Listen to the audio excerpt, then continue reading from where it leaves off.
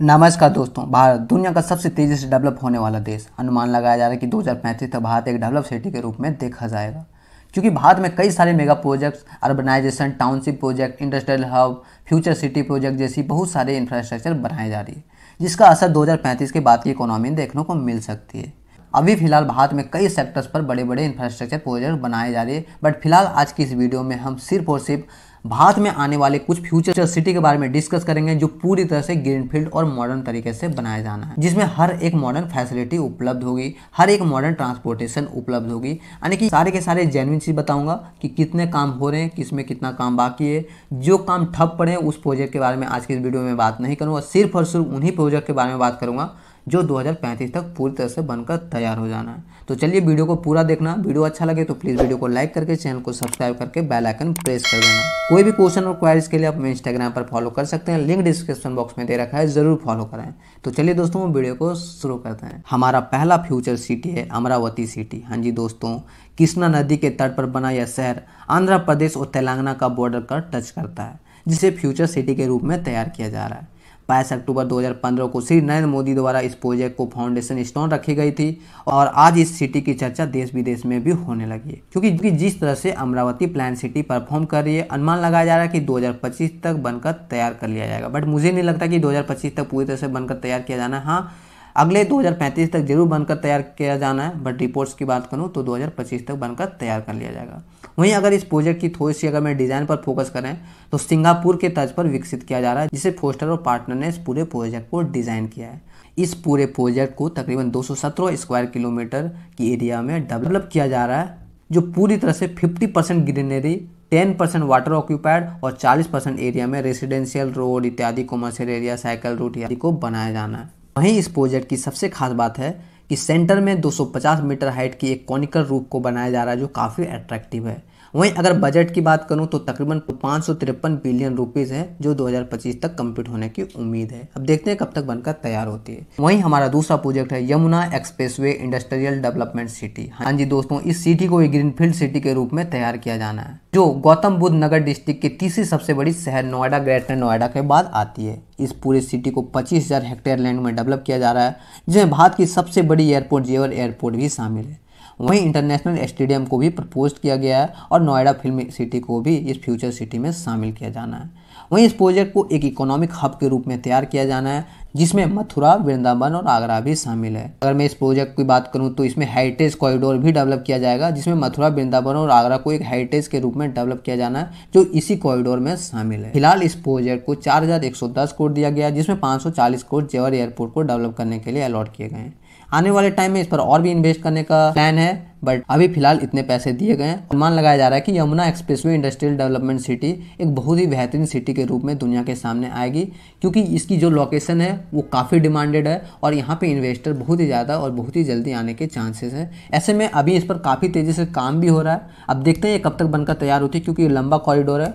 तो जल्दी बनने का चांसेस नहीं है बट हाँ 2035 साल तक ज़रूर बनकर तैयार हो जाएगी। ऐसा मेरा मानना है रिपोर्ट्स की तो बात करूँ तो रिपोर्ट्स में बहुत ही जल्दी बताएगी जैसे 2025 तक बनकर तैयार कर लिया जाना है। वहीं कई सारे रिपोर्ट्स का मानना है कि 2042 तक भी पूरा हो सकता है। ऐसे में कहना कहीं से भी सीख नहीं होगा, फ़िलहाल हम प्रोजेक्ट्स पर फोकस करते हैं। तीसरा हमारा future city Ayodhya model town हाँ जी दोस्तों, पूरे सिटी को रिलीजियस और टूरिज़्म के एस्पेक्ट से इसे पूरी तरह से वैदिक प्रिंसिपल के रूप में बनाया जाना है।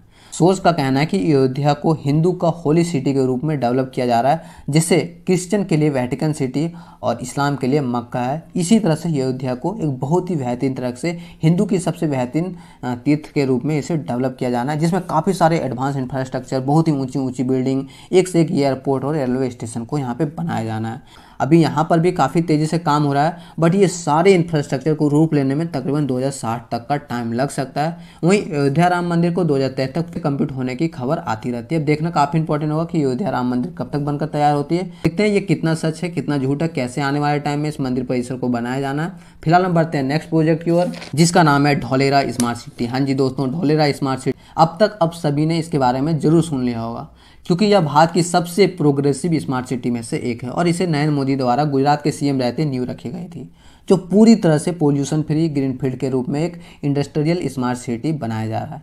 बताया जा रहा है कि इसकी क्षेत्रफल दिल्ली से दो गुना ज़्यादा और संघाई से छः टाइम्स गुना बड़ा होगा, जहाँ bullet train twelve lane expressway shaded street international Dholera airport metro ports electric vehicles इत्यादि को यहाँ पे चलाया जाना है निर्माण किया जाना है। वहीं अगर इस प्रोजेक्ट के ऊपर मैं डिटेल में फोकस करूँ तो यहाँ पे रेजिडेंशियल एरिया को बनाया जाना है कॉमर्शियल हब बनाया जाना है इंडस्ट्रियल हब बनाया जाना है आईटी सेक्टर स्पोर्ट्स कॉम्प्लेक्स को बनाया जा रहा है, जो लगभग लगभग बनकर तैयार हो गई वहीं अलग से एक एजुकेशन जोन बनाया जाना है सिटी सेंटर का निर्माण किया जाना है, और पचास से ज़्यादा हाई राइजेस बिल्डिंग को रिवर फ्रंट के रूप में तैयार किया जाना है, जो पूरी तरह से इको फ्रेंडली भी होगी इस पूरे प्रोजेक्ट को तीन फ़ेज़ में निर्माण किया जाना है, जो दिल्ली मुंबई इंडस्ट्रियल कॉरिडोर में ही बनाया जा रहा है। पहला फ़ेज़ 2022 तक कंप्लीट हो जाएगी, जिसमें सारे बेसिक चीज़ थे वो चीज़ बनाया जाना था। वहीं फ़ेज़ टू 2032 तक बनाया जाना है, जिसमें बिल्डिंग्स का निर्माण होना है। वहीं फ़ेज़ थ्री को 2042 तक बनाया जाना है, जिसमें हाई राइजेस बिल्डिंग और बहुत सारी चीज़ें, जो एडवांस हैं बुलेट ट्रेन इत्यादि को बनाया जाना है।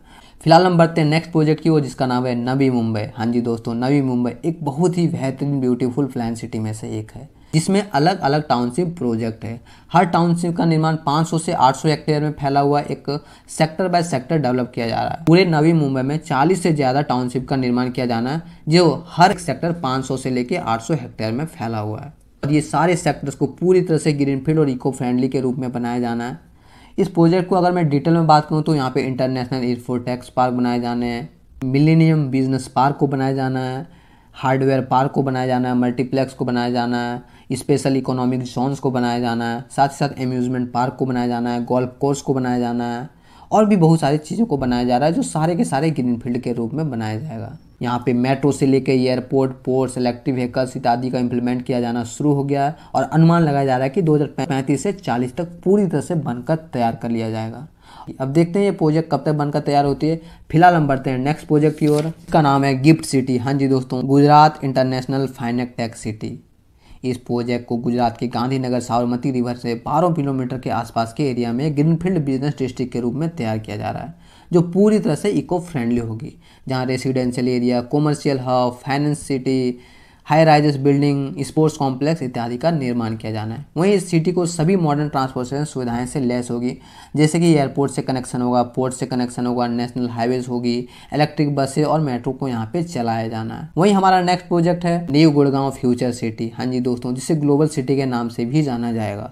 रिपोर्ट्स के अनुसार ग्लोबल सिटी को एक हज़ार एकड़ में दुबे बिज़नेस पे के आधार पर बनाया जाएगा। Helipad, airport, metro, expressway, electric बसें इत्यादि को यहाँ पे बनाया जाना है इम्प्लीमेंट करना है और कनेक्ट करना है। इस ग्लोबल सिटी को पूरी तरह से ग्रीनफील्ड के रूप में द्वारका एक्सप्रेस के पास सेक्टर सैंतीस और छत्तीस में बनाया जाना है, जिसे अलग अलग इकोनॉमिक जोन में इसे बनाया जाना है। वहीं हरियाणा के मुख्यमंत्री का कहना है कि इस पूरे सिटी को टूरिज़्म को देखते हुए दुबई के तर्ज पर बनाया जाना है। क्योंकि अभी रिसेंट में इस प्रोजेक्ट को लॉन्च की गई है। अब देखते हैं कब तक बनकर तैयार होती है। और वहीं हमारा नेक्स्ट प्रोजेक्ट है नॉर्थ बेंगलोर रीडेवलपमेंट प्रोजेक्ट हाँ जी दोस्तों, जिस तरह से नॉर्थ बेंगलोर की डेवलपमेंट हो रही है, यहाँ कई सारे इन्वेस्टर्स अपने इन्वेस्ट कर रहे हैं। बहुत सारे हाई राइजेस बिल्डिंग बनकर तैयार हो गए हैं और आने वाले में ऐसा अनुमान लगाया जा रहा है। बहुत सारे ऐसे आर्टिकल्स में मैंने पढ़ा कि ये आने वाले टाइम में एक बहुत ही बेहतरीन सिटी के रूप में दुनिया के सामने आएगी। भारत की दो सबसे बड़ी सिटी एक नवी मुंबई और एक नॉर्थ बेंगलोर, जिसे पूरी तरह से अभी इन्वेस्टर्स यहाँ पे इन्वेस्ट कर रहे हैं और बहुत ही बड़ी बड़ी हाई राइजेस बिल्डिंग को नए नए पुल्स का निर्माण किया जा रहा है। देखते हैं आने वाले समय में यहाँ पे कितने हाई राइजेस बिल्डिंग को बनना है और फ़िलहाल आज का सबसे अंतिम प्रोजेक्ट है हमारा ड्रीम सिटी प्रोजेक्ट। हाँ जी दोस्तों, जिसे diamond research and mercantile city के नाम से भी जाना जाता है। यह भारत का एक अपकमिंग बिज़नेस डिस्ट्रिक्ट के रूप में देखा जा रहा है, जो गुजरात के सूरत सिटी में 2000 एकड़ ज़मीन पर कसोड़ के पास बनाया जा रहा है। एक प्लान सिटी जो पूरी तरह से मॉडर्न इंफ्रास्ट्रक्चर के साथ लेस होगी। देखते हैं ये सारे प्रोजेक्ट कब तक बनकर तैयार होंगे। ये सारे प्रोजेक्ट अभी प्रोपोज प्रोजेक्ट है, जिसमें किसी में काम चल रहा है तो किसी में काम चलना बाकी है। आने वाले टाइम में देखते हैं ये सारे प्रोजेक्ट बनकर तैयार होती है या नहीं होती है। फ़िलहाल मैं अपना वीडियो यहीं पे एंड करता हूँ। आई होप वीडियो अच्छा लगा होगा। और सारे के सारे प्रोजेक्ट्स मैंने जेन्यून बताए तो प्लीज़ वीडियो को लाइक करके चैनल को सब्सक्राइब करके बेल आइकन प्रेस कर देना। कोई भी क्वेश्चन और क्वारीज पूछना हो तो आप मैं इंस्टाग्राम पर पूछ सकते हैं। लिंक डिस्क्रिप्शन बॉक्स में दे रखा है, ज़रूर पूछें। तो चलिए दोस्तों, आज का वीडियो यहीं पेन करते हैं। जय हिंद।